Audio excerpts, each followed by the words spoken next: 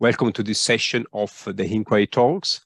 Um, INQAAHE Talks is a series of webinars where INQAAHE aims to connect its membership with the broader international higher education quality assurance community to discuss some of the, uh, the pressing issues that we are facing today. We bring together international experts, uh, international practitioners to share insights, challenges, best practice, uh, proposed solutions, uh, to ensure that higher education and quality assurance uh, continues to remain relevant and, and, to serve at its best uh, our increasingly interconnected communities. My name is Fabrizio Trefiro. I'm an INQAAHE board member. I'm head of international cooperation and quality reviews at Ecctis UK ENIC, which is the UK National Qualification Recognition Body, and I will be chairing today's session. This session looks at the issue of academic integrity and today's growing um, uh, threat to the confidence that can be placed uh, in the value of higher education qualifications. And we will address this issue from different perspectives, that of quality assurance bodies and regulators, that of education institutions, and that of credential evaluators. So I'm delighted to introduce our excellent panelists. Um, Mairead Boland, Senior Management, Academic Integrity, Regulation and Strategic Partnerships at Quality and Qualifications Ireland, QQI, one of uh, the founding agency of the Global Academic um, Academic Integrity Network Initiative. Uh, Helen Gniel, Director of Higher Education Integrity at the Tertiary Education Quality and Standards Agency, TEQSA in Australia, another uh, founding agency of the GAIN initiative. Salim Razi, Associate Prof Professor in the English Language Teaching Department of Kanakkale on Sekit Mart University in Turkey, and also a founder board member of the European Network for Academic Integrity. And my colleague Chris Lyons, Head of External Engagement at UK ENIC, and a board member of TAICEP, which is the Association for International Credential Evaluation Professional, where it chairs the Committee for Standards and Quality. So the way it, will work is that I will invite uh, um, each of the panelists in turn to briefly introduce their organization and their experience with the issue of academic integrity. We will then explore further in discussion some of the recurrent and emerging challenges and existing and developing solutions and initiatives. Um, but before we start, uh, a, a, few words about uh, housekeeping. We have muted all your microphones to help with the smooth running of the event, and your cameras have also been disabled. So you can relax, but we are very keen to hear from you. So please do use the quality, the, the Q&A function to raise any questions or any comment you may have at any time. Uh, these are intended to be in, in interactive sessions.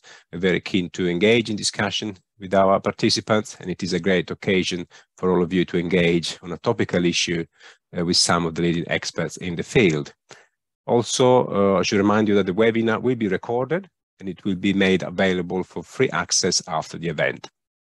Last but not least, I would also like to thank Beatrice and Maria at the INQAAHE Secretariat who in the background are making sure that everything runs smoothly.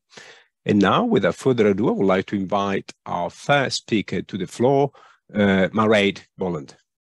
Over to you, Mairead. Thanks, Fabrizio. Uh, just grappling here with sharing my screen, but I think that you should all see it now and hopefully I'll manage to switch smoothly between slides as well. So uh, first of all, thank you to INQAAHE for having me here today to talk to you about two things. Um, so first of all, the Irish context and the Irish approach to uh, academic integrity. And second of all, the Global Academic Integrity Network. And I'm delighted to be here with Helen Gniel from TEQSA, uh, QQI's partner and co-founder of GAIN, uh, to tell you about that. And hopefully some of you after this uh, talk will decide to join us in the Global Academic Integrity Network. So I'm just going to start off um, by talking about QQI um, and I suppose our role in protecting academic integrity. And the key messages that I'd like to give you from this presentation um, and the key goals, I suppose, that QQI has in terms of protecting academic integrity and working uh, with, with other regulators through GAIN is, um, I suppose, first of all, to protect, to protect our national qualification systems and our learners um, to disrupt the uh, business models of contract cheating services and other bad actors that facilitate academic fraud, And I suppose really the key message going away from today that I would like you to have is we really all need to work in partnership at national and at global levels to, to support this work. So just to, to set the scene, um, I've drawn together a couple of examples of uh, contract cheating service provider um, ads and, and sites. So you can see here that the breadth of ways in which contract cheating uh, providers um, sell their wares online. I should say, first of all, when I when I talk about contract cheating, I'm talking about commercial contract cheating.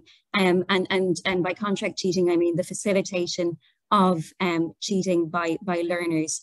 Um, so we're primarily looking here at kind of large scale commercial operations. You can see here an example in the top left hand corner of a website um, and quite disingenuously, this website is offering plagiarism free guarantee because of course, if you have bespoke essays produced by a contract cheating service, they're not going to be picked up by plagiarism detection software like Turnitin. Um, we've got an example on that slide too of a, um, the infiltration of a student's um, WhatsApp um, by a contract cheating service provider, so direct marketing. Um, and you can see that, you know, Instagram, uh, for example, you can see on Twitter, um, somebody has, has uh, indicated that they have an assignment due and that they're stressed. And you can see immediately there are responses there from um, contract cheating service providers. So moving on, so where, where does QQI sit in this? So I should say QQI is a quality assurance agency. It's the, national, the Irish National Quality Assurance Agency across further and higher education and training. It's, a, it's the National Qualifications Authority and it is a statutory awarding body. We validate programs and we make the awards um, linked to those programs within the, the Irish National Framework of Qualifications. But in 2019, QQI was awarded a new statutory function following the amendment of its legislation. So that amended, amendment created new criminal offences with regard to facilitating and promoting academic cheating. And that's within further vocational education and training and higher education. Um, um, and that, I suppose, it, th there were new responsibilities for QQI there as prosecutor of those offences. That was great, um, and I suppose that that really um, put put a put a put a, a new focus on contract cheating and academic integrity within the Irish education system. But it's really important to emphasise that legislation in and of itself is not a silver bullet. Legislation is never going to be the solution. Um, and I suppose we were really conscious of that even before this legislation was enacted. Um, so what QQI has done is, I suppose, we, we have two complementary and mutually supportive strands of work within our organisation, focusing on regulation and implementing that legislation and on the enhancement side of things. So I think my colleague Sue Hackett is here today and Sue is our um, Academic Integrity Enhancement Manager and Manager of our National Academic Integrity Network, which I'll talk about in a moment. But I suppose we really looked at how we could leverage our role in, in, all of the three um, main functions that we have. So incorporating academic integrity considerations within um, our within our, our, our um, quality assurance processes, um, and, and I suppose using our function as custodian of the Irish National Framework of Qualifications to protect the integrity of awards within that framework. In implementing the legislation, I suppose that the, the underpinning principles that we have are, as I said already, partnership and shared responsibility, and I'll come back to that in a moment. Institutional autonomy, and we very much, that links back to partnership, we very much look to um, the universities and the other statutory awarding bodies in the state as partners in implementing this, this approach um, and other, other providers of education in terms of how um, they ensure that their internal quality assurance systems are, um, are support integrity and, and enhance cultures of integrity within the institutions. And then I suppose proportionality and, and fairness in terms of how we implement it.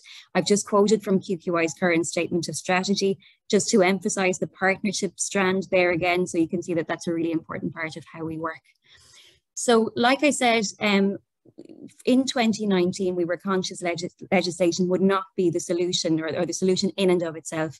So immediately in, or, or, quite soon after the enactment of that legislation, we established um, the National Academic Integrity Network, which is a peer-driven organisation uh, or collective of um, providers and a number of other important stakeholders within the system, including um, staff or student representatives.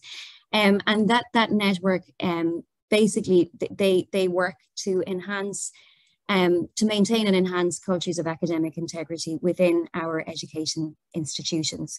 They do that by providing CPD and by producing resources. And I've included a link to the National Academic Integrity Network website, which you can visit and, and see some of those resources. Um, I suppose there are other really important partners at a national level, including advertising and publishing platforms with whom we have established reporting relationships. So we monitor their, their platforms and we, um, we they, they remove infringing content for us.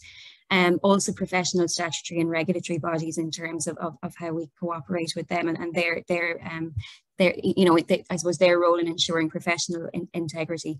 So I know I'm I'm I'm I'm, I'm just going to allow you to, to read that. And I'm just going to move on very quickly to then the national into the global.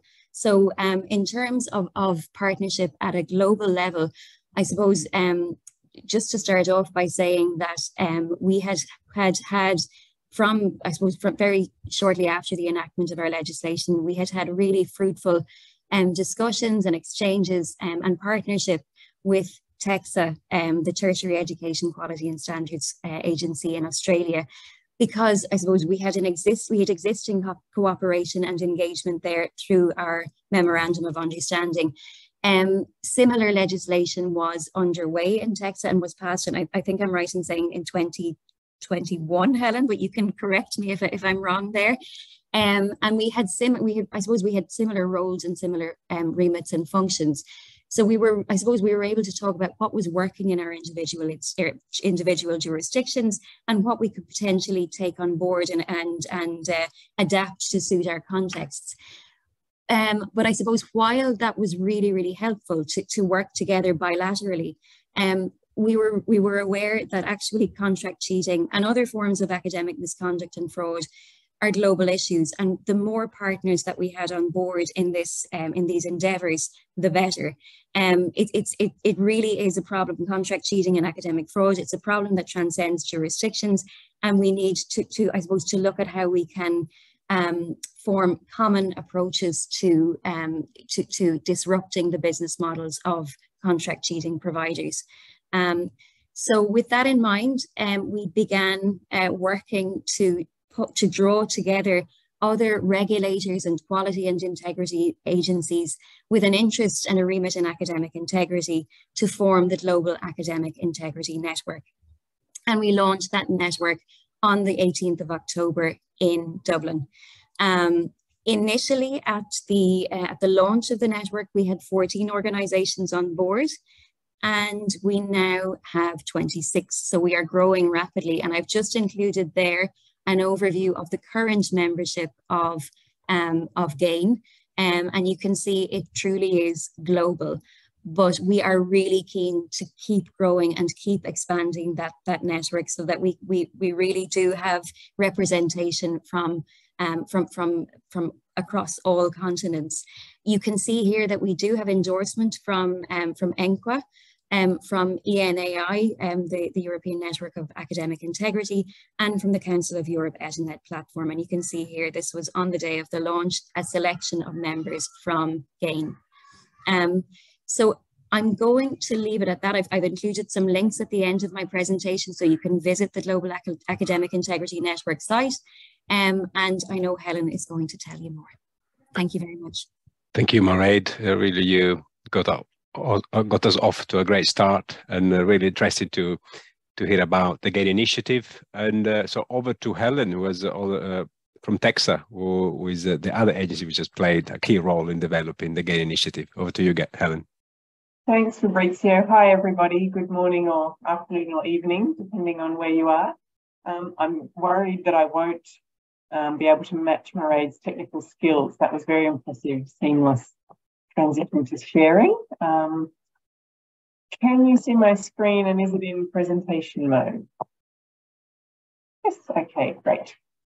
Um, so look, I'm from TEQSA, Tertiary Education Quality Standards Agency in Australia. Mairead's given you a bit of a rundown of GAIN and our partnership. I'll give you a brief whistle-stop tour of uh, how, of TEQSA's journey, I suppose, to get there. Um, and this has been a long journey for TEQSA. We had a massive scandal in Australia nearly 10 years ago now when a contract cheating website was exposed by investigative journalists and it was a really major news story in Australia. There was significant pressure on the government um, to do something and particularly because we did see as a result of that a decrease in enrolments from international students, which is a main export for Australia. Um, so TEQSA wrote to all higher education providers, reviewed their submissions and reported to the government on the initial responses and committed in 2016 to developing further support resources um, and an increased focus on how providers were ensuring academic integrity during our regulatory assessments. In 2017, TEQSA published the Good Practice Note addressing contract cheating to safeguard academic integrity. Um, and that brought together a lot of good practice examples from those submissions back in 2015 and 2016.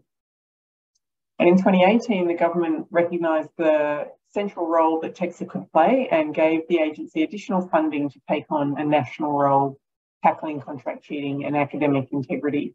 And in 2019, um, some of that funding was used to run a series of workshops right around Australia and New Zealand.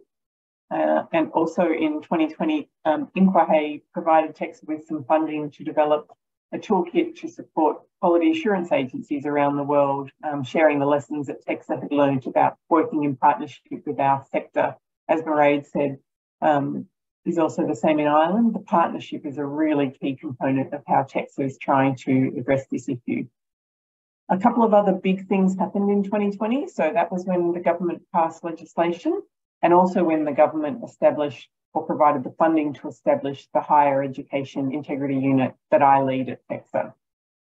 So the legislation that's about two and a half years old now makes it an offence to provide or advertise academic cheating services to students studying for an Australian Higher Education Award. The legislation captures those who provide the cheating services. Students are not captured by our legislation, but they remain accountable to their institution. And one of the important um, parts of Australia's legislation and the way it's crafted is that the offences and penalties apply whether the services are operated from Australia or from overseas. And we do know from our research that the majority of these um, cheating websites are operated offshore. The legislation creates penalties of up to two years in jail or $110,000 fine in Australian dollars. Um, but we also have another part of our website of our legislation that allows us to take out injunctions to block access to the website. So that's what we think of as our, um, I guess, our enforcement. Uh, but as Mairead said, we were also really conscious that legislation is not going to be a silver bullet. You can't prosecute your way out of a problem that is as complex and as multifaceted as commercial cheating. Um, so we also have um, a large body of our work that's about education and about detection. So we, we maintain a database of websites that offer cheating services. There's about 3,000 websites on that database and only around 600 of those websites are targeting students studying with an Australian provider. So that gives you a good insight immediately into the global scale of the problem. Um, Australia is a reasonably small market compared to some others. Um, and we've found evidence of cheating websites targeting students in every jurisdiction that we've ever had to look. So it truly is a global problem. Um, a lot of our detection comes from web traffic analytics, and we use that data for triaging so that we can work out which are the most uh, popular websites that are receiving traffic from Australia. So using our enforcement powers, in the last two years, we've blocked over 150 websites, uh, and that accounts for about 70% of all of the Australian internet traffic going to these contract cheating websites. Um, we'll be blocking the next set in April. So the great thing about the web traffic analytics is it's real time. So we can watch, we can block the most popular websites. We need leave around four months um, to work out who becomes the big players in the market, and then we block them the next time around. Um, like Mairead, we've been working with um, social media companies and advertising platforms. So we're nearing 800 posts, profiles, pages, and channels that have been removed from social media.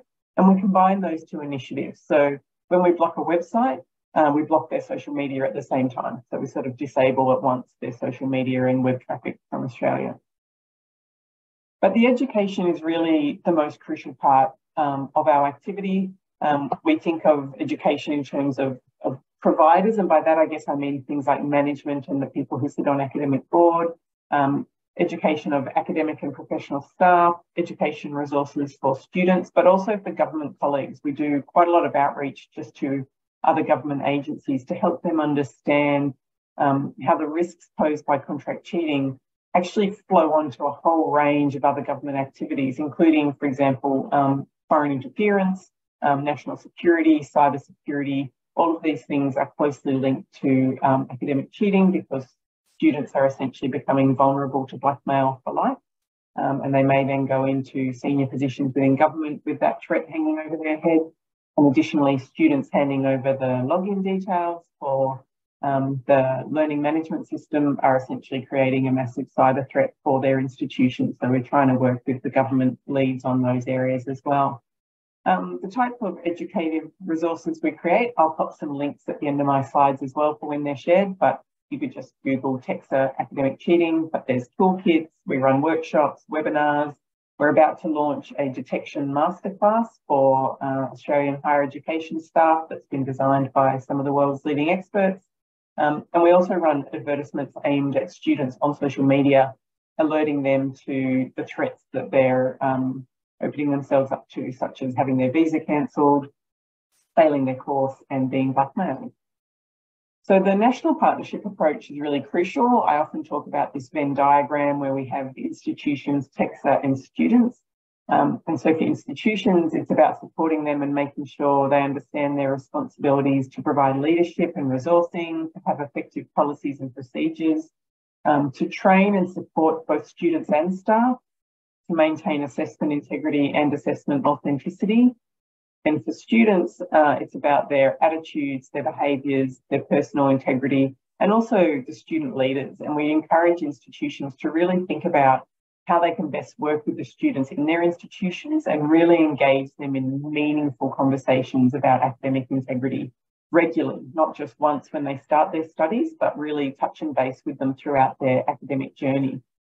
And for us as, as the regulator, we have our legislation. Um, we, we spend a lot of time, energy, and resource enforcing it.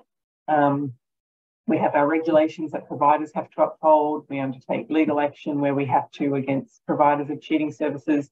And we see our role as that, as that crucial kind of overarching support to make sure that providers that are smaller or less resourced or less mature um, can also access all the best resources and up-to-date best practice. So um, TEQSA, of course, sits, you know, quite isolated all alone at the bottom of the globe. So our partnership um, with QQI has just been absolutely um, game changing for us. And so together um, we moved to yeah, embed the global academic approach that uh, Mairead was talking about through the Global Academic Integrity Network. Um, and so that, so I guess the aim, and I, have taken this from the terms of reference, to provide an international platform and coordinating structure for discussion, collaboration, and information sharing in relation to commercial contract cheating services. We all truly are part of a global system. Our graduates go everywhere to work, our academics come from all over the world, our researchers collaborate all over the world. So this truly does require global cooperation.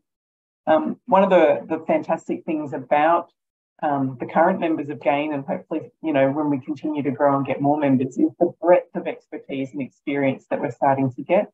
So there's quality assurance agencies, but also qualifications agencies and academic recognition bodies. Um, there's there's organisations that cover higher education and also further and vocational education. Um, and through the terms of reference, what we've identified that we really want to achieve is to explore overarching approaches to prevention to share information on emerging threats, to highlight the reputational risk. Um, I feel that Australia has a particularly tough lesson that we learn to share there. And it's really important to remember that even though the number of students may be small as a percentage, there's a really disproportionate effect on the quality and the reputation of the higher education globally and nationally. Um, we aim to agree and implement a shared communication strategy and disrupt the business model through global collaboration and calls for action. Many of the platforms that enable the commercial cheating industry to flourish are global platforms. So having that global voice to call for action, I think is really important. We meet quarterly um, and we have a focus topic for each meeting. So a couple of recent examples um, where we've had a guest speaker talk about other types of academic fraud and really placing this in the context of the broader notion of academic fraud. And also our previous meeting um, talking about ChatGPT, um, how our different agencies were seeing that and, and responding to it. Um, and just, yeah, so valuable to get that global perspective. So as Mairead said, we really welcome new members and would love to have you join us. Thanks, Fabrizio. Thank you very much, Helen. That, that is really interesting and um, touched upon a number of issues that I'd love to follow up later on. And uh, uh, but a, a, quick question now. So, if uh, how do um, interested parties can engage with with GAIN? Say, if there's someone want to to engage with GAIN, uh, what, what does what does they need to do? So the best way is to go to the website. I think, Mairead, which is globalacademicintegrity.network. Pop that in the chat. Um, and there's a form there to submit an expression of interest, and then we'll be in touch. Fantastic. Thank you very much, Helen. Sorry, and, Rita, say, yeah. um, you know, we, we've also been saying we could, we, we're happy to run other presentations, you know, so if people want to get a, a group from their organisation together because they want other people in their organisation to understand what the network is, we're really happy to facilitate that as well. That's great. And uh, um, another another thing before uh, inviting Salim to um, take the floor, um, what kind of uh, uh, you outline some of the the things that you've been doing? Uh, it looks like that at the moment is very much around uh, um, sharing experiences, uh, coordinating activities. Um, what what type of initiatives are you planning to undertake in the short term as a, as a network, other than being a platform for sharing experiences? or is it too early? Do you want to jump in, Ray? Yeah, I can. I can come in there. So I suppose one of the things that we would see ourselves um, facilitating is calls to action, as as uh, Helen referenced within the terms of reference. So looking at collective statements from GAIN members to encourage, I suppose, parties whose who who can who, whose platforms can be used by bad actors um, to, to, to work with us. So I'm thinking, you know, we're thinking of operations like payment platforms, social media platforms, advertising platforms, because as, as you've seen with the advertising platforms, at least and the social media platforms, um, there, there is a there is a lot of, of, of advertising of um, contract cheating services on those um, on those platforms, and and those outfits are very targeted and very, I suppose, insidious and, and clever in how they, they target students and in the language they use. So it really is important that those platforms work with us to remove any, any content um, of that sort. Thank you very much, uh, Mairead. Now, there is a question before inviting Salim. There is a question which perhaps we can take now. Um, the question is, uh, um, uh, um, where has he gone? There was a question about whether the, um, you knew whether there were other countries where uh, contract cheating was being made illegal, or is it I, only Australia and, uh, and Ireland for the time being? I can actually take that very briefly. Um, I actually referenced a paper that Dr. Sarah Eaton from the University of Calgary um, and Alicia Adlington from, from the University of Calgary um, wrote early last year that actually includes a really helpful overview of jurisdictions in which um, legislation um, criminalising contract cheating has been enacted. That list is now a little dated because obviously um, England has, has joined, and I know that there are plans underway to um, to enact legislation in other jurisdictions as well. Um, but but no, I mean I, I know also in Austria there there is legislation um, for for contract cheating. Um, I think Montenegro also, a, a number of European countries. Okay, that's great. Excellent. There's another question, but I'll take later. Uh, uh, now I'll invite Salim now to take the floor. Um, Ellen, you mentioned very importantly uh, the key role, something that I'd like to explore further, of uh, education in terms of raising awareness among, uh, amongst key stakeholders, particularly higher education institutions and students about the danger of uh, contra, contra cheating and possibly also best practice in uh, teaching and learning. And I'm sure Salim will address some of these, uh, these questions. Salim, over to you. Uh, thank you, Fabrizio, and thank you, Mairead and Helen, uh, for the uh, presentation. Uh, please let me show you my screen.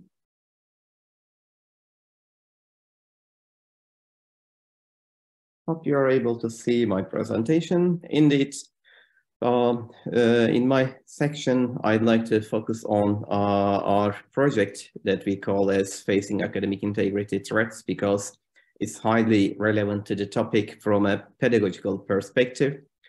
Uh, so I'd like to provide a basic uh, overview of the project to you, in addition to our responsibilities in the project. Uh, however, before I do this, uh, in, in the previous sessions, we mainly focused on contract cheating and we will be addressing contract cheating as a component, as an academic uh, misconduct type under uh, academic integrity. So uh, I'd like to make sure that we all understand the, sa the same thing from academic integrity. So provide a basic definition of academic integrity at the first stage.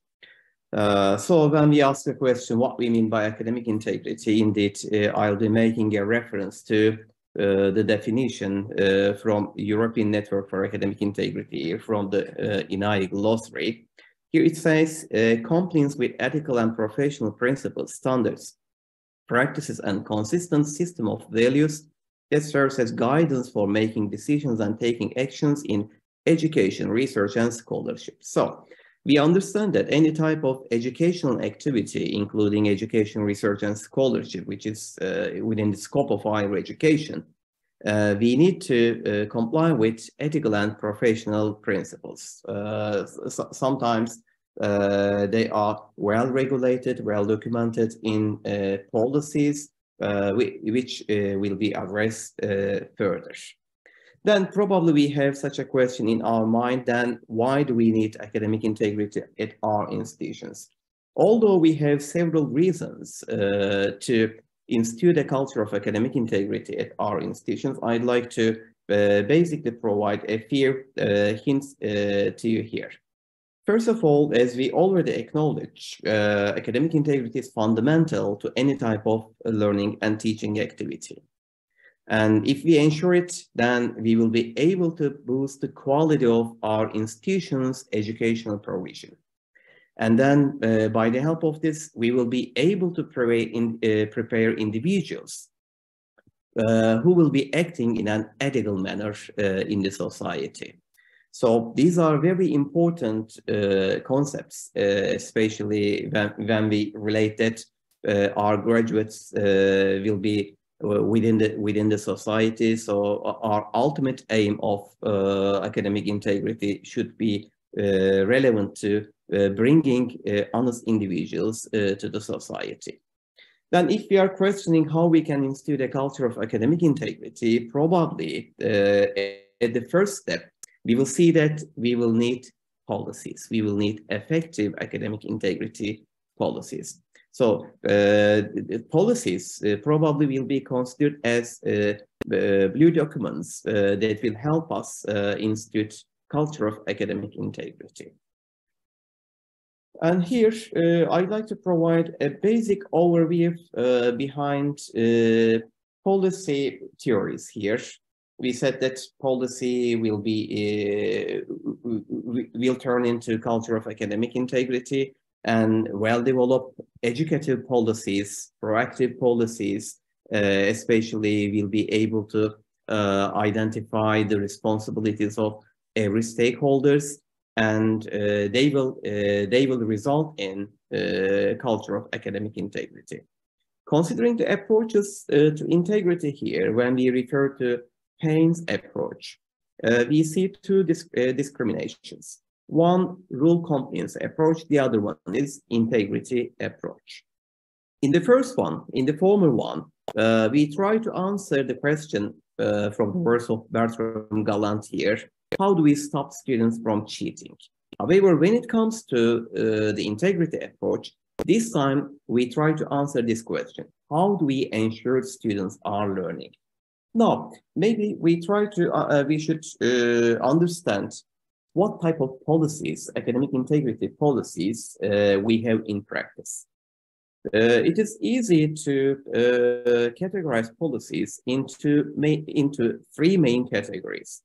In the first one, for example, we can uh, make a reference to policies that, uh, that are uh, didactic, where the aim is catching students who are plagiarizing, for example. And in the second one, we have policies uh, that we call as reactionist, where the aim is, uh, for example, how we should deliver sanctions. And finally, uh, we see policies, uh, pedagogical policies or proactive policies, uh, where, where the aim is preventing any type of academic misconduct. Of course, uh, in proactive policies or pedagogical policies, of course, there will be some reference to the detection of academic misconduct and also uh, to, to the reaction uh, of academic misconduct. However, uh, the, the main concern will be the prevention of uh, academic misconduct. Now, uh, before I move to the details of our FAITH project, I'd like to basically provide a few characteristics of higher education academic integrity policies. Uh, in, in their sections, both uh, Mairead and uh, Helen, for example, they made uh, reference to uh, contract cheating. However, when we check the policies, academic integrity policies uh, available globally, unfortunately, we will realize that many of the universities do not make a direct reference to contract cheating in their policies. For example, this brings a very important gap in the policies. So it, it is uh, it, it, comes with some uh, question marks that we have policies, but are they really well written policies? So this is this is very important, and previous research relating to uh, this is issue, especially Irene Glendinning from uh, Coventry University. Uh, she uh, conducted several research and uh, projects, related projects, and you see one of the reports uh, here from, from the ETINED platform. We, we, understand from the previous research that unfortunately not many universities have well-developed policies. So this brings problems, especially considering that students are moving across uh, universities all over the Europe or globally. And uh, academics also uh, are doing the same thing. Uh, however, uh, the practices, uh, academic integrity practices uh, at the institutions vary. sometimes they vary across institutions, sometimes they vary across nations, but there is there is lack of standardization. And when we uh, designed uh, Facing Academic Integrity Threats project, indeed, we tried to uh, identify these issues with reference to uh, three important project results that we are addressing in the, uh, in the project. The first one, firstly, uh, we collect policy examples from universities mainly from Europe, but also uh, from the other uh, universities across Europe. And then our aim here is uh, providing exemplary policies, especially uh, for policymakers. Uh, we already uh, finished collecting the policies. We are now analyzing the policies and hopefully within a year we will be able to come up with our exemplary policy examples. And secondly, within this project, uh, we are focusing uh, from a pedagogical perspective uh, for this purpose. Uh, we are uh, we already collected some materials uh, to prevent academic misconduct is mainly plagiarism and contract cheating here. and now and now we are in the procedure of developing new materials. Hopefully within a year, uh, we will have finished uh, development of our own materials and we will make them available uh, to the others. And uh, in the third project we, uh, uh, result, we focus on a support portal for victims of academic misconduct. Here, victim makes reference to any person who is under the impact of any type of academic uh, misconduct. Uh, by the help of this uh, interactive portal, uh, which is uh, which is available now, I share the link here, uh, which is available here. our aim is providing guidance, especially for students, but not only limited to students, especially students, how to act with integrity and how to get rid of some issues that uh, they are uh, they are issuing. Indeed, uh, we are only providing guidance. we are not an authority. I'd like to highlight that we are not an authority to solve the problems. We are just helping them to deal with their problems. Uh, this is uh, this is the web page uh, directing our users to our portal and uh, Uh, it provides a secure uh, opportunity uh, for the users uh, to interact with uh, experts that we have in collaboration with ENAI here, that we have from the partner project partners. Uh, and uh, we are helping uh, students and academics who are who are considered as victims of academic misconduct. Uh, apart from uh, these project results, of course, uh, European Network for Academic Integrity is uh, one of the partners, and this project is uh, continuing uh, the vision of European Network for Academic Integrity Erasmus Plus project, indeed. and we are organizing multiplier events. We first organized a multiplier event last year in Porto, uh, it was organized by the University of Porto. And uh, it will be the next multiplier event will be organized uh, by Çanakkale Onsekiz Mart University next year. This year, uh, the European Conference on Ethics and Academic Integrity, it will be organized uh, by the University of Derby uh, this summer in UK. And in these conferences, we are promoting the materials and also the other uh, the other tools that we are making available uh, to the public. Apart from these multiplier events, uh, what makes our project stronger is also uh, learning, teaching, training uh, activities. Uh, as Çanakkale Onsekiz Mart University Center for, uh, Center for Academic Integrity, we organize uh, Academic Integrity PhD Summer School within the last two years. And uh, we were able to organize uh, the last summer school in August uh, as a face-to-face -face event. And we had we had six lectures, including Sarah Elaine Eaton, for example, from Canada, Shiva uh, from UK, Sonia from Sweden, Teddy from uh, USA, and Zinat from uh, Dubai. Uh, so our aim was bringing PhD students uh, together. It's not limited to uh, my university, by the way. It was open for anyone. so bringing PhD students together because we we give great importance uh, to training PhD students uh, with the merits of academic integrity because they will be able to uh, cultivate culture of academic integrity at their own institutions. Therefore, uh, in the project, uh, we are we are devoting uh, much of our time to PhD students, and we give PhD students responsibilities in the production of project results as well. And uh, our summer school uh, uh, found its place in Times Higher Education and also so, some some tips from the summer school was published as an article by Times Higher Education. Now, uh, before uh, I stop, uh, maybe we need to consider this question, the developments relating to artificial intelligence and especially AI-generated text. this becomes an issue. in our project, we give importance to policies and uh, from our previous experience from contract cheating experience, for example, we already know that uh, universities may not uh, may not have immediate actions in order to uh, cover these important concepts in their policies.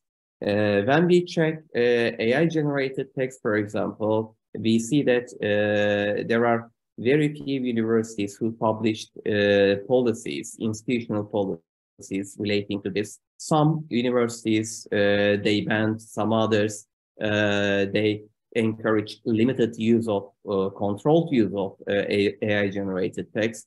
However, uh, what will happen in the future for now, it, it seems to be a question for us that we need to that we need to address in the future. Uh, because uh, considering the uh, detection of AI-generated text, unfortunately for now, we don't have uh, perfect results. I mean, there are some uh, text matching tools uh, who already develop AI-generated text detection systems. However, uh, they are not uh, independently tested for now. So uh, we are not sure about their performances. Top universities, higher education institutions um, will be able to address this issue in their policies uh, properly in the future. Um, uh, I'd like to stop here. Thank you very much, Salim. That, that was really interesting and fascinating. I really like your, your distinction between uh, uh, rules compliance versus academic integrity approaches, which show that there are two routes there for the sector to um, take action against uh, threats to academic integrity uh, and how it is important both to prevent through um, regulation and their enforcement, but also through educating education institutions and student bodies about good practice. You said, uh, I think something very important, which I really liked, the importance of creating and ma maintaining a sustainable culture of, uh, of um, academic integrity. And uh, you made reference to artificial intelligence, of course, ChatGPT. That it does pose similar challenges to um, um, to contra cheating, and I'd like to explore some of the um, some of these issues with you further. Now, before um, asking Chris to take the floor, uh, I'm going to have a look at the questions which have been um, asked to see whether there's an immediate question to ask you, and um, and I can see one from Deb. Um, so I'm going to read it out. Do you see potential in different pedagogical approaches to teaching and learning, especially assessment, to, re to reduce the demand side of cheating by reducing some of the inducement for students to cheat, not as silver bullet, but as a tool to reduce the problem? And I think it's, it's a very good good question. It, it is it is about us uh, asking ourselves about our current pedagogical practice whether it is still fit for purpose in the context of uh, advancement in uh, artificial intelligence, for example. Do you have a particular view here, Salim?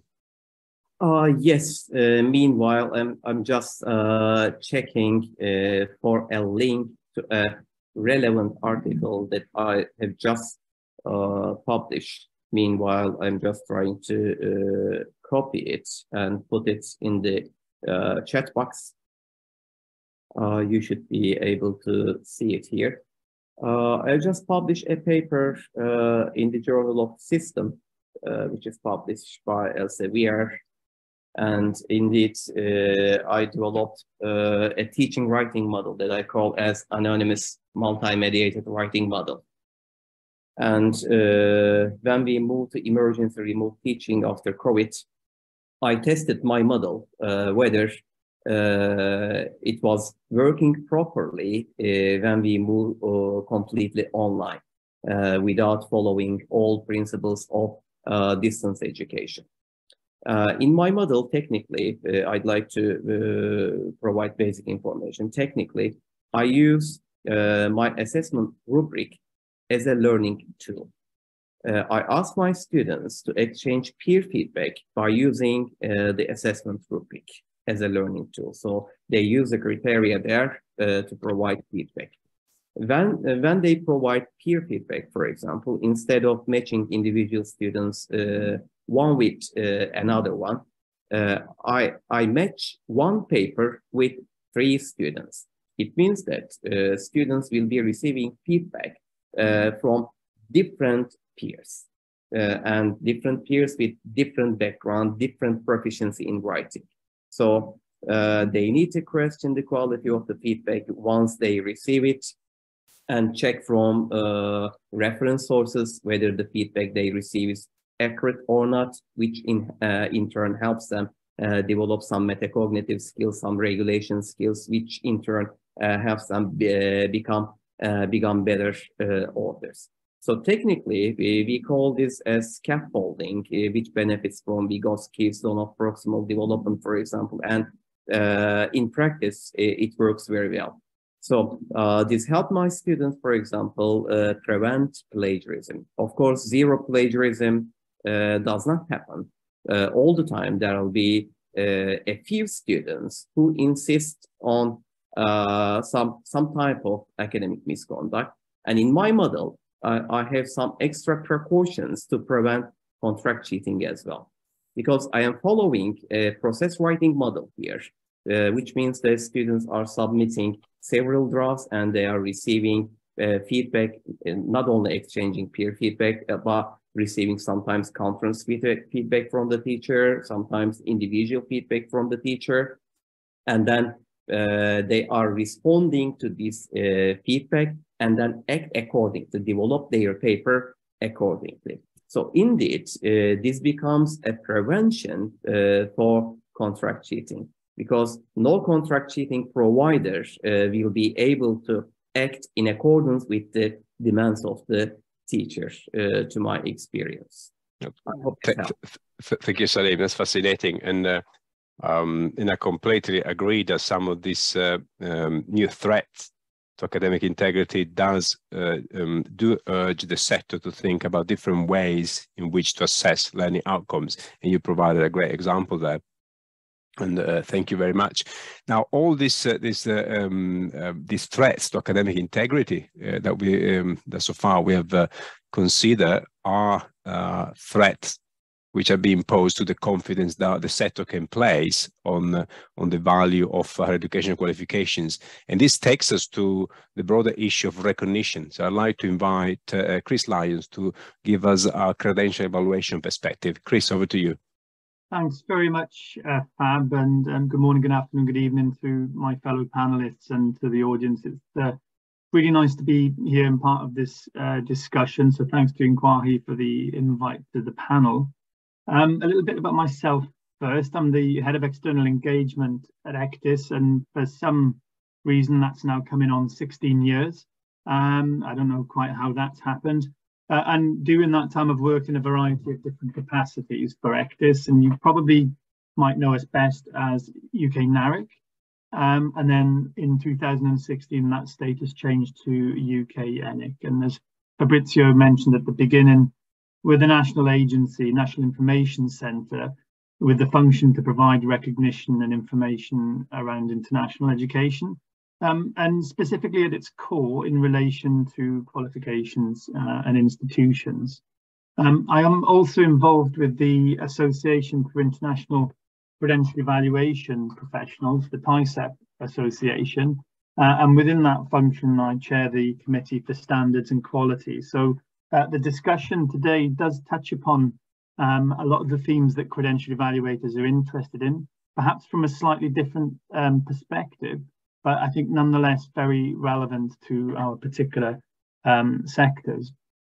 So when I was asked about the question uh, and, and, appearing on the panel, I was thinking, well, how are the principles uh, around academic integrity uh, going to link? Uh, and how do they affect uh, credential evaluation and the work such as ours?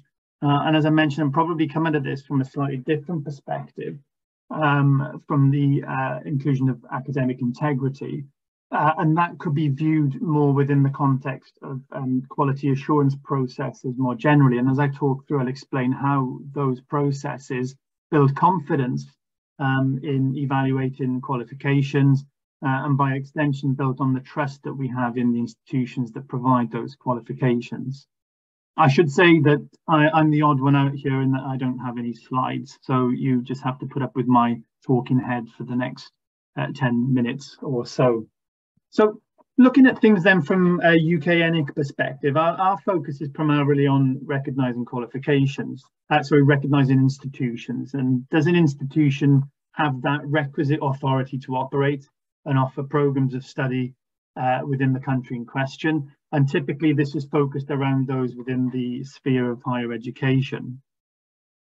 Secondly, then, we look at the um, evaluation and comparison of the national qualifications that exist from around the world.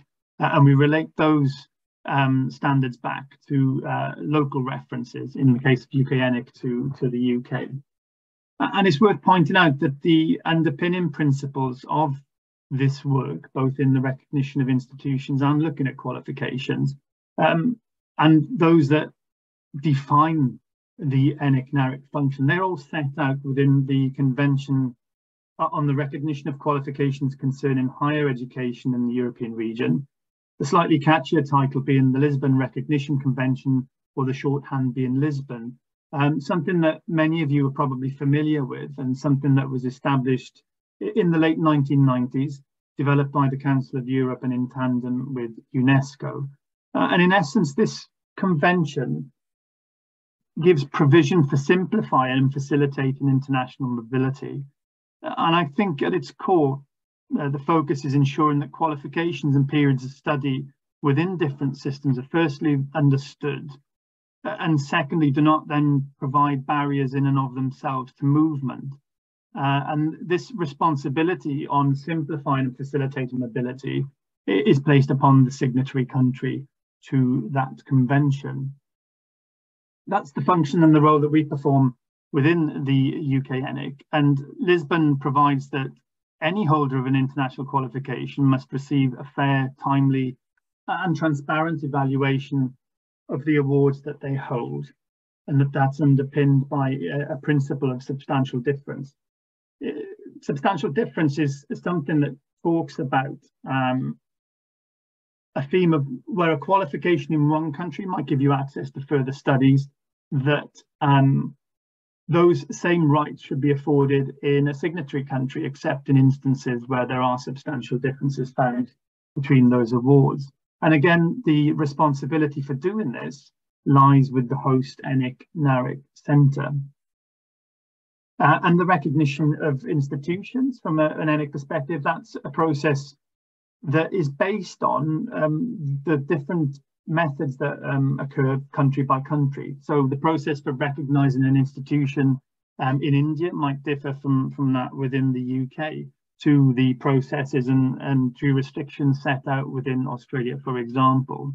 So by necessity, the system that we had has to have has to be flexible. It takes into account differences between countries that are manifest in the institutions that operate, and then by extension, the qualifications that they offer. So how do we reach that point then when we're able to um, publish the recognised list of institutions and evaluate qualifications? Well, I think in accepting that status, um, there is an implicit element of trust uh, and an, imp an implicit element of trust in terms of standards, processes and principles. Uh, and I think it's interesting as a side point that when Salim was looking for that definition, presenting that definition on academic integrity earlier, those key words of standards, processes, and principles were key to that particular definition and description. I think from an evaluator's perspective, uh, the guiding framework that is provided by this trust, by the processes, um, then sort of helps understand how uh, institutions can operate through what we might call robust, recognizable uh, and reliable accreditation quality assurance processes. And very much within this discussion, we could look at the integration of academic integrity as a further enhancement of these quality assurance processes. I think much like an evaluation centre has to respond to the way in which education is delivered and the way in which qualifications are manifest. So two quali uh, quality assurance processes um, should reliably be responsible uh, and responsive to change with trends and current demand. So I think this is a key sort of consideration within the broader um, sector. So that's the sort of the, the, the, baseline, if you like, the fundamentals from, from the, the UK ENIC perspective. I'd like to fast forward a little bit now, taking into account the work that we've done, it's underpinned by Lisbon, and look into um, UNESCO's Global Convention on the Recognition of Qualifications concerning the higher education, concerning higher education, uh, the Global Recognition Convention, or GRC for short. Uh, and this continues that sort of link, if you like. And there are broader implications for credential evaluation from that convention, with the implications then uh, around trust of institutions, trust of qualifications, and trust of the processes by which individuals achieve those particular um, awards. And this does have uh, an effect on the way in which UK ENIC um, operates.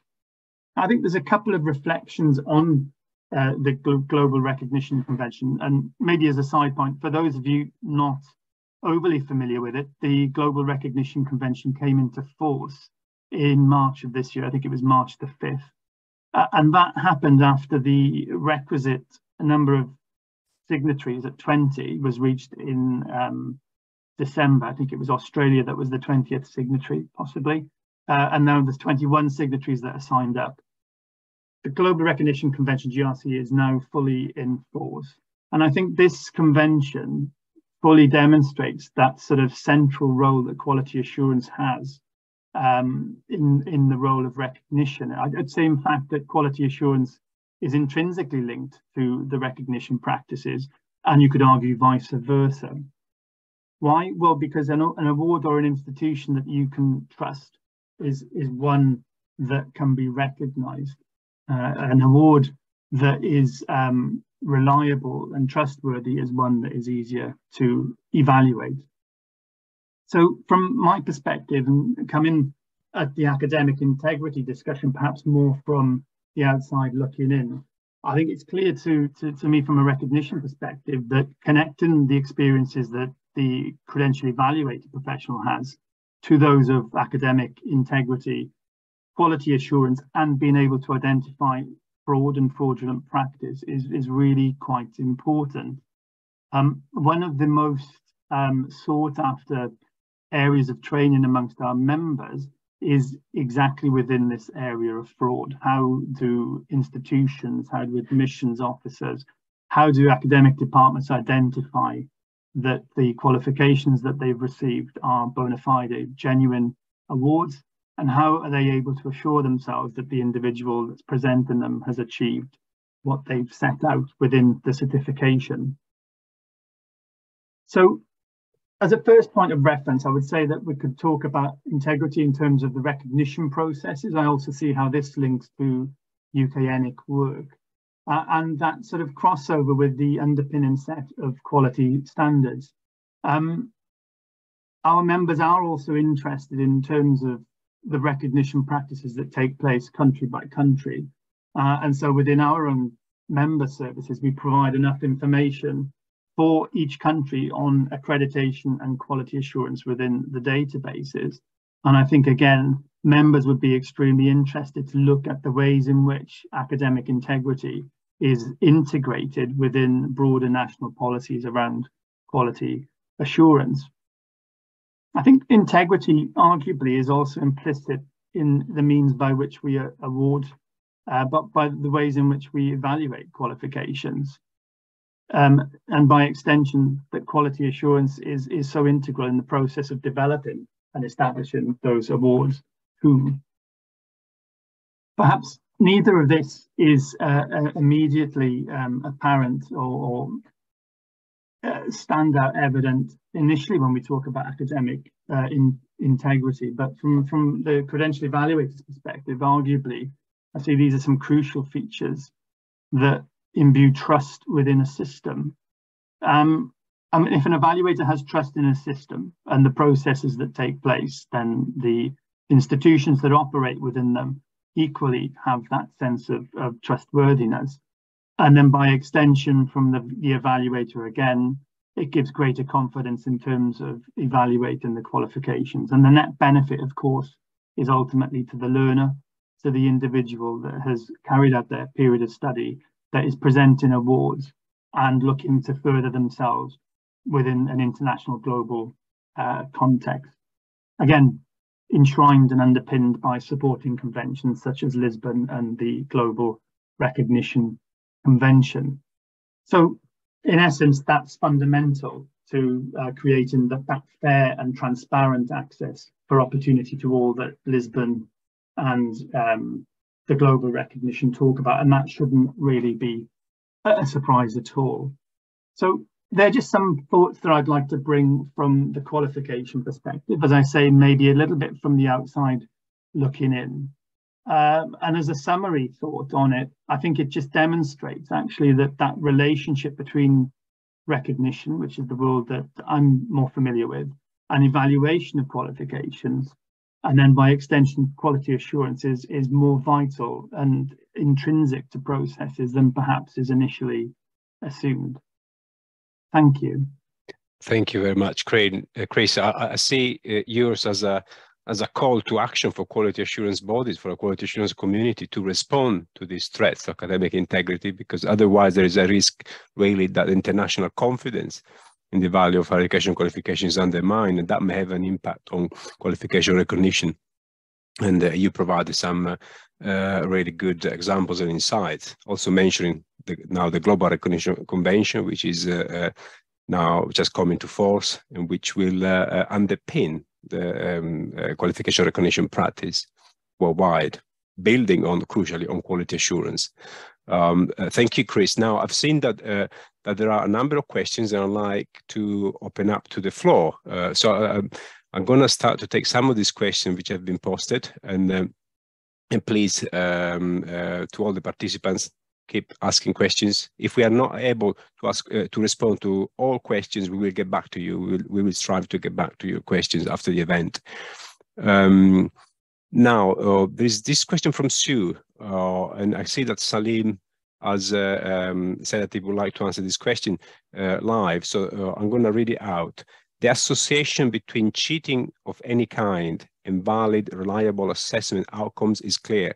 It would be interesting to hear from the panelists on how they see assessment approaches developing, transforming in light of online cheating services and maybe also artificial intelligence. This is some, somehow, somehow a sequel of uh, uh, the previous question uh, that Salim addressed. But Salim, do, do, you want to add something to it, but also the other panelists if, if they would like to, to come in into, into this question? Yeah, sure. Maybe uh, I can add a few words. I already clarified some issues uh, relating to my teaching model. Here, uh, to, to, my understanding, uh, first of all, considering AI-generated text, for example, do we consider it uh, as a threat or an opportunity? For example, uh, for this semester, I will make an experiment with my students and on purpose, I will ask them uh, to, to uh, blend ChatGPT in their assignment. It doesn't necessarily mean that uh, they will ask ChatGPT to write their assignment, but in, in the phase of idea drafting, they will they will get some clues from ChatGPT written assignment. And also when it comes to proofreading their own papers, uh, I am planning to uh, include uh, some steps uh, to help them proofread their assignments. So uh, as long as they are under the control of the teachers, uh, I, I, don't consider them as uh, threats. Instead, they will become opportunities, especially in my case, for example, I'm training EFL teachers, English as a foreign language teachers. So in this case, it will become an opportunity for my students uh, to progress uh, their foreign language skills, their, their writing skills. Uh, however, uh, it doesn't necessarily mean that it will, it, it, will be the same all the time. And secondly, uh, I'm asking my students to provide uh, feedback to their peers. When I do this, I appreciate their contribution as a feedback provider. What does it mean? Uh, their final grades 60% will be coming from the paper that they write, 40% will be coming from the quality of the feedback that they are providing. So uh, indeed, uh, assessment, uh, I, I, don't, uh, I don't maintain assessment only by means of the written product, but also I include the quality of the feedback that they are providing. I hope this helps. Thank you, Salim. That's great. I can see that Helen and um, Mairead would like to come in. Helen, thank you, you were first. Thanks. Yeah, look, I guess um, maybe I'm, I'm, more negative. I think back to the many varied assessment tasks I set when I was an academic in a medical school, and I can't think of one of them that GPT-4 couldn't have done a pretty good job on, remembering that it doesn't have to be better than the academic, just the average undergraduate to um, to kind of be a, a wrench in the gears. Um, and I think what we've been trying to work with our higher education institutions to think through, because assessment design, of course, is crucial, but it's so much more complex than that. Because just because AI can do something doesn't mean there's no value in having a student do it. There's value in learning to write an essay, even though AI can do it, because it's about research, synthesization, expression of ideas, editing, all of those things. So we're trying to kind of think through the distinction between the assessment for learning and the assessment of learning, because you need both of those things to develop someone's cognitive ability throughout their degree. So, um, and the other thing that I that I'm quite concerned about from a sector perspective, and Australia might be a little bit. We have very big class sizes in our universities. I don't know if that's the case all around the world, but you know, the, the workload component of having an academic mark, not just an assignment, but 30 pages of attachments, which is how I interacted with the GPT, and the rigor that underpins that of what makes a good prompt and how am I assigning marks for this. Um, all of that we're kind of learning as we go. The whole sector is trying to learn in real time. So um, we're trying to support the sector as much as we can through semester one, even just to unearth these kind of issues that we hadn't necessarily occurred to us immediately. Um, but yeah, we certainly can't put the genie back in the bottle, but I think we do need to think really, really carefully about whether there's something like a programmatic assessment that's going to be more effective in the long term. So accepting that you can't ensure the integrity of every individual assessment item anymore, but you still need a mechanism for ensuring that graduates have achieved the graduate learning outcomes through programmatic assessment. Thank you, Ellen. That, that's really helpful. Yeah, it's, it's not easy. yeah.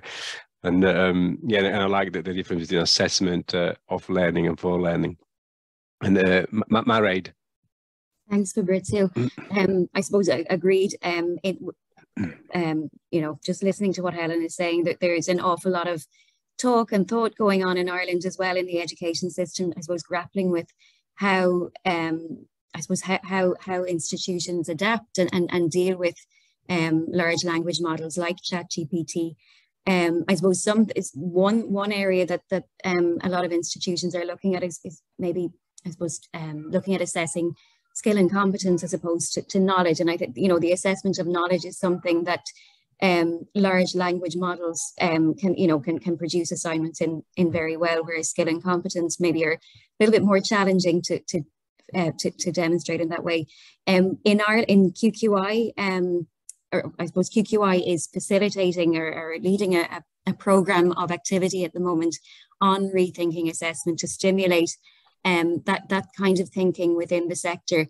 Um, so we're funding eight projects that are, um, a number of them are looking at authentic assessment um, and, and ways of encouraging that within the system. Um, we're also, I, I suppose the, the aim of doing that is to try to um, develop communities of practice around assessment because we do see that as being really key to ensuring um, that academic integrity is promoted and upheld in the system. So I'm just going to drop um, a link into the chat to link it to that uh, to that project. We had a, a, a conference back in January um, and some of the talks are really worth um, rewatching, not least um, that, uh, that my colleague Sue Hackett led um, providing staff and student perspectives on, uh, on assessment from a number of learning focus groups and surveys that we um, conducted in QQI over the last year. Thank you, Mairead. And, uh, and I think uh, uh, your collective answers have, um, have, also helped to answer another questions from Pauline Finley, which was what modes of assessment are most likely to prevent pervading contract cheating. So uh, your, your, your input now uh, goes somehow to address that question as well. There is another uh, question from Sue, which is uh, which is interesting, and I wonder whether uh, any of the panelists have a view here. Uh, I wonder if anyone knows of any evidence-based data on the possible links between levels of academic language competence and engagement with cheating. Are these uh, inclusion issues with these? Are there inclusion issues with these? I guess uh, um, uh, the question is about, for example, people, international students coming to uh, to the UK or Australia, uh, whose first language may not be English, and that applies also for other languages as well. Maybe more are they more inclined to um, uh, to seek the service of contra cheating, for example, because they, they, struggle with the English language or with the, the language of teaching and learning. Uh, yeah, any particular views here? Yeah. There certainly is research that would back up that um, that suspicion. Um, I, I, can drop a link in my slides before I circulate some of the papers, but yeah, certainly the, the cohorts within Australia that are most correlated with using contract cheating services are um, young, male, uh, non-English speaking background and engineering. Those are the those are the key flags. Interesting. Um, okay, no, that's very interesting. And um, should we expect uh, another question? Another question from Sue, unless anyone else has a, a, a, another input. Yeah. Fabrizio, that sure. I think it's well recognised in our legislative framework. So we we have we have our legislation, TEQSA legislation, and then another piece of legislation to try and protect international students and ensuring that students have the appropriate English language proficiency um, is actually the very first of all the standards. Very important, um, yeah. And it's so crucial that we don't set students up for failure by, um, you know, letting them in when they don't have adequate preparation, especially when the sums of money involved are enormous. So um, you do hear, you know, complaints sometimes of it happening, but we do take it incredibly seriously that the international students are protected as much as possible. Absolutely right. You know, very well said, Helen. And um, another question is, should we expect in academics to have expertise in detection, or is this delegated to a specific staff cohort once referred? Any particular experiences, particularly within institutions, or what, what is um, it? What do you see? Is, yeah. Quick I think it somewhat depends on the size of the institution. I think that's going to be important. In a in a large comprehensive university, you might have, you know, I think best practice is probably a specialised unit that has a collective competency. So a range of different skill sets within a central unit that are experts in, you know, investigation, procedural fairness, um, detection. You're putting forward a brief of evidence. You'll have your decision makers. So I think having that collective competency is important, but I think it's really useful for all academic staff to at least have an understanding, one, that it can be detected. Um, it's not impossible to detect. It is possible to detect. It is possible to prove and to have a broad understanding of what kind of red flags they might see that should should kind of raise their suspicion. And that that content is very much the what's involved in the um, TEQSA masterclass that we're going to be delivering to our sector to detect contract cheating. Thanks, Alan. Um, Salim, would you like to come in here?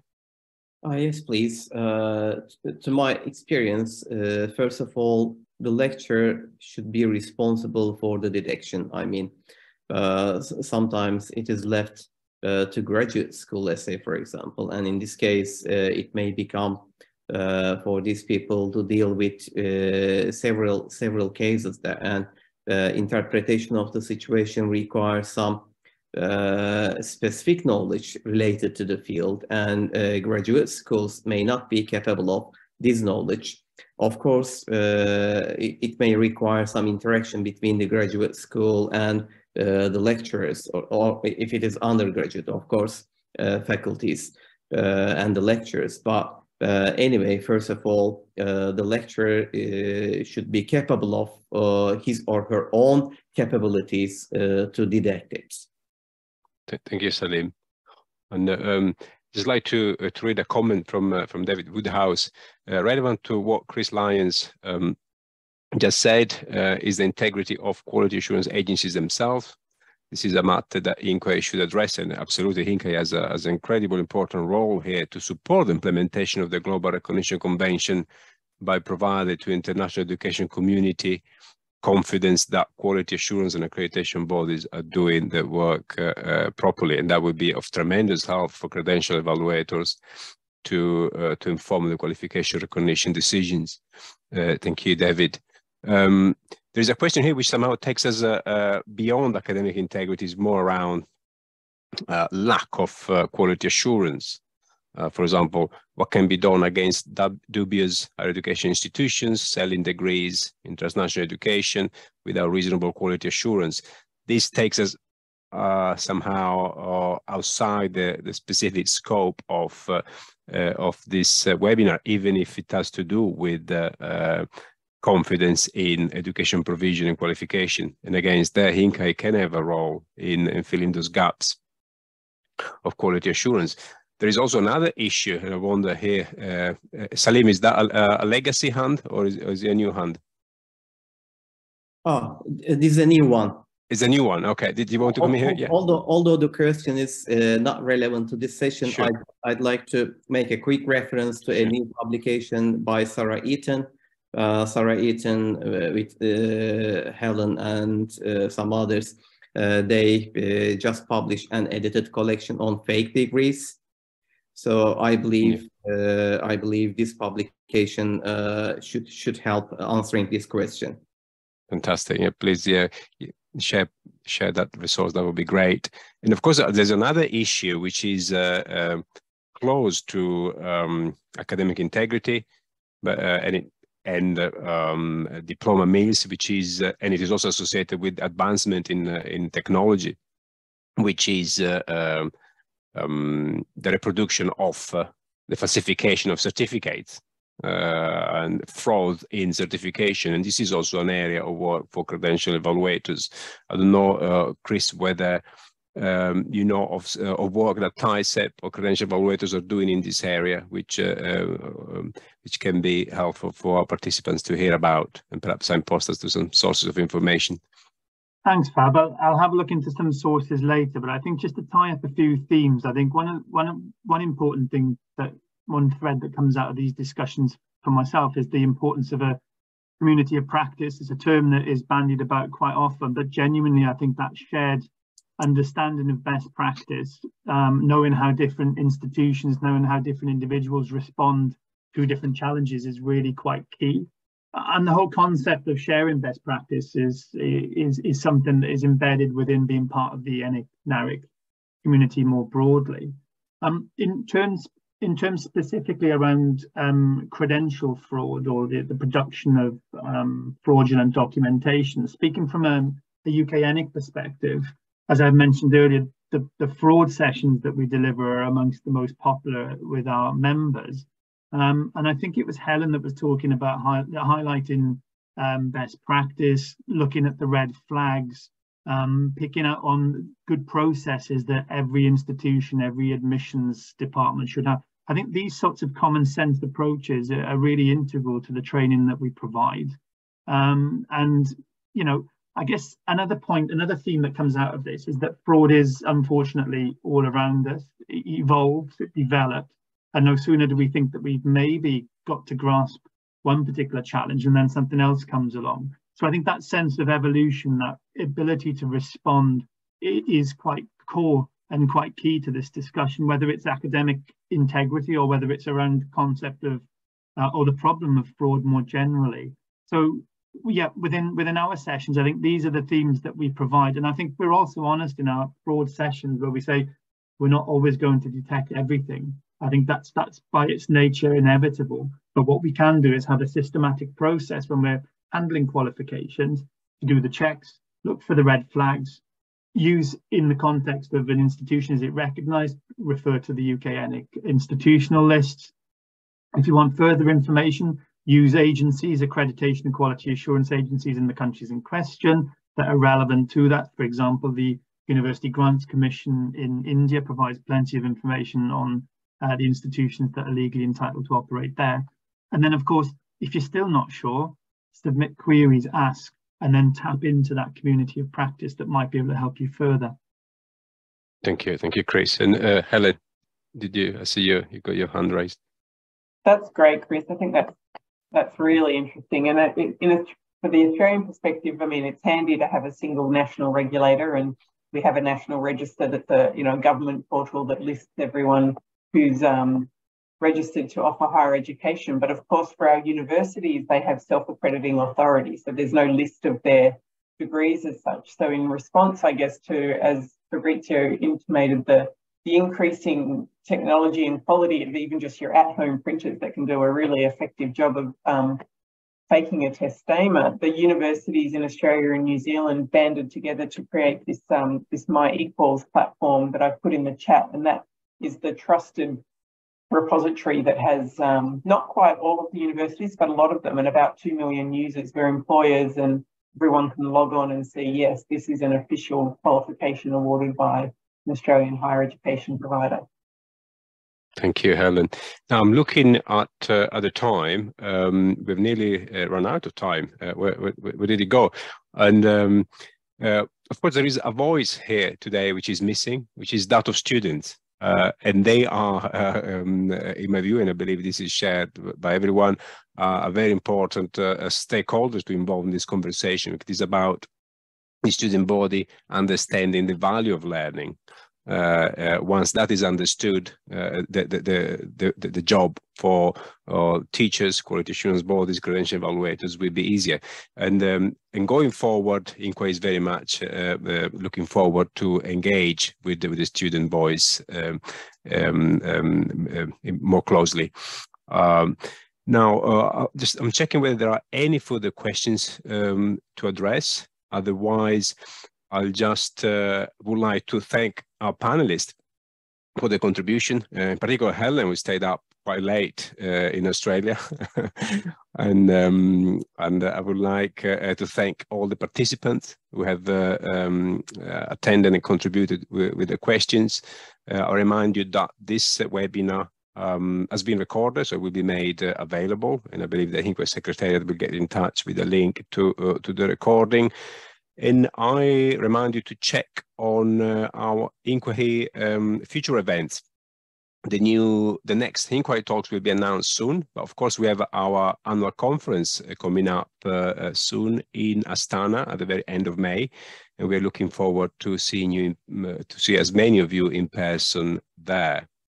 Uh, with this, I conclude, and I'd like to say goodbye to everyone, and um, and see you soon.